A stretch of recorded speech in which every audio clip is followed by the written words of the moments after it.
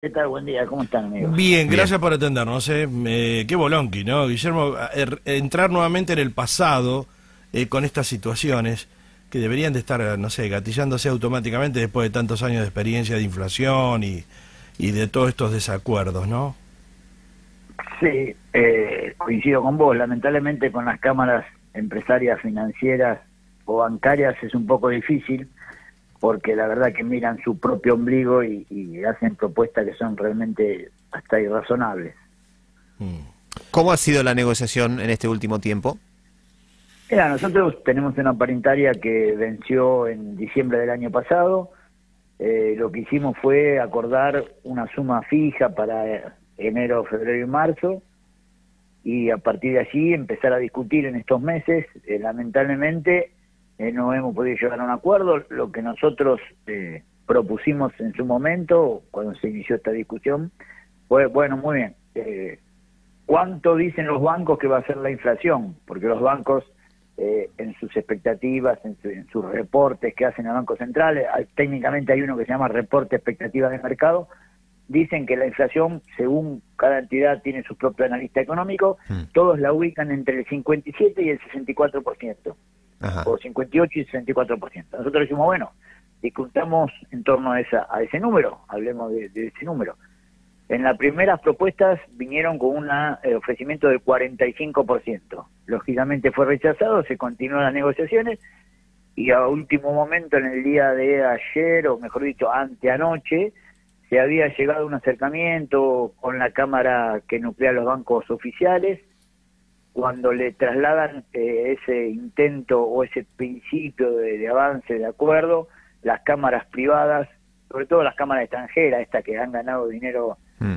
enormemente en todo el mundo y, sin importar si estamos en guerra, en pandemia, en crisis, los bancos ganan, ellos ofrecen un 55% en 8 cuotas, 7, 8 cuotas. Upa. Lo que implica que, que estemos siempre corriendo la inflación de atrás haciendo un análisis de lo que ofrecen y los tramos como lo ofrecen, pero estaríamos perdiendo de los 12 meses en 7 meses contra la inflación y eso para nosotros es inadmisible porque nosotros lo que pretendemos y un poco siguiendo lo que viene diciendo el presidente de la Nación es que los, los trabajadores tienen que al menos mantener el poder adquisitivo frente a la inflación.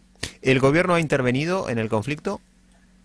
El gobierno marca como quien dice, una pauta general, luego brinda el ámbito de discusión que es el Ministerio mm. de, Trabajo de la Nación y a través de las entidades oficiales, como fundamentalmente es el Banco Nación, que es entre Banco Nación, Banco Provincia de Buenos Aires y eh, algún otro banco, Banco Ciudad, que son los bancos estatales, tienen la mayor cantidad de trabajadores en todo el país. Eh, ellos eh, se sientan y discuten con, mayor responsabilidad, se acercan a los números y es una cuestión de ajustar detalles. Eh, es lo que se hace habitualmente. Y después, el resto de las cámaras, que son a número, el número de trabajadores, si bien son importantes, porque bancos como el Santander, el Galicia, francés, un banco con un número importante de, trabajadores, terminan eh, por ahí por ahí acompañando, ajustando algún otro detalle. Bueno, en este caso, lamentablemente, la banca, fundamentalmente la banca extranjera, mm. eh, se mantiene inflexible y no, es imposible hablar. Guillermo, ¿qué, ¿qué afecta exactamente el paro en el día de hoy? Bueno, en realidad, primero es por las 24 horas del día de hoy, todo lo que tenga que ver con atención al público, con atención y recarga de cajeros automáticos, es decir, los cajeros automáticos mm. se cargaron ayer, se van a volver a cargar mañana, y eh, una nueva modalidad que estamos teniendo, que es todo lo que tenga que ver con desconexión de los sistemas informáticos que en muchos casos los compañeros manejan desde sus hogares. Eh, esto es parte de la, es parte de la discusión o pretende. Sí. Es, ¿Eso eh, eh, tiene un visto legal, digamos, estaría amparado por, por, la, por la acción de, del paro? Sí, sí, en realidad, bueno, esto es parte incluso de la discusión, porque a veces uno, para simplificar las explicaciones, eh, ciñe a lo que es la cuestión económica, que es la más fácil de entender. Pero hay toda una serie de cuestiones que se discuten en la paritaria, entre ellas en este momento algo que para nosotros es muy importante, y es discutir con seriedad cómo vamos a hacer que el, impacto tecnológico no genere un detrimento en los números de puestos de trabajo. Es porque, decir, porque me imagino, Guillermo, que ahí hay empresas privadas que están tercerizadas en cuestiones de seguridad, hay un montón de gente afectada alrededor de la tarjetita de débito que uno introduce en un cajero a veces, o entrar en un home banking, ¿no? Este, ¿Cómo van a lograr eh, sincronizar todo esto, que todo el mundo baje los brazos? En realidad nosotros, eh, nosotros lo que a lo que nos referimos nosotros es, los trabajadores bancarios hasta hace dos años estaban sentados en una sucursal y que producto de la pandemia tomaron una modalidad de teletrabajo. Esto se da mucho en las entidades privadas, sobre todo en Buenos Aires y Gran Buenos Aires. En el interior del país esto no es tan significativo, hay casos, pero no es tan significativo. Es decir, es un trabajador bancario que hasta hace dos años compartía el escritorio, estaba sentado al lado uno del otro. Bueno, ahora uno de ellos hay casos en que están en su hogar. Nosotros decimos, bueno, vos, eh, tu derecho a la huelga implica que no trabajes, por lo tanto no te tenés que eh, conectar. Eh, esto nosotros entendemos que está totalmente amparado por la ley, está previsto en la ley de teletrabajo. La cuestión es que los bancos no terminan de implementar la ley de teletrabajo.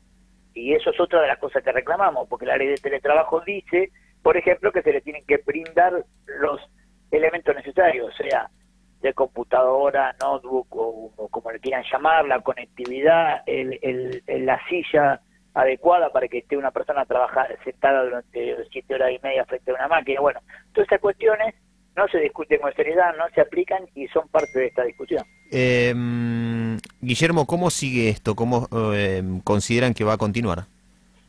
Bueno, nosotros tenemos toda la esperanza que este paro de hoy que va a ser contundente, como, como son los, paros bancarios, haga reflexionar a las entidades y mañana nos podamos sentar a, debatir y a discutir con una seriedad, con números más razonables, como corresponde a una discusión paritaria en la que dos partes discuten para llegar a un acuerdo. Claro. Hoy a la tarde nosotros tenemos en forma virtual, a través de las aplicaciones que se utilizan hoy en día, un encuentro nacional de secretarios generales eh, con los secretarios generales, con el secretario general nacional, el compañero Sergio Palazzo y el resto de la conducción nacional, el Consejo Directivo, y ahí seguramente se van a empezar a plantear lineamientos de cómo va a seguir esto en caso que no haya un acuerdo.